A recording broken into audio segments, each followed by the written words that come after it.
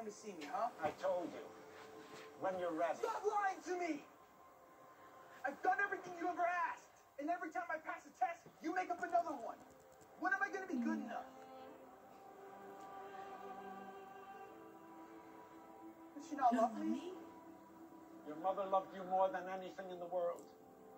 But she had to return to Atlantis to keep you safe. Her marriage to King Orvax was arranged a long time ago, so she had to marry him and bear him a son, Prince Orm. When Orvax eventually found out about you, he became overwhelmed with jealousy and sacrificed her to the creatures of the trench. Are you saying they executed her?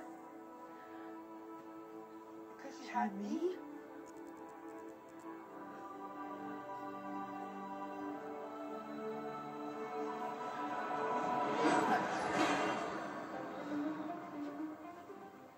To my mother.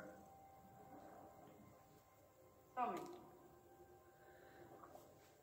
Do you think you would have enjoyed watching your watching your sons murder each other? I understand your fear and your reluctance, Mera. I truly do. I don't want war. I oh, Don't patronize me. I I know you. Would you do We advice lies and and everything face everything your mother told told us when we each other. She was- Avoid here. she's not here. what my mother taught us.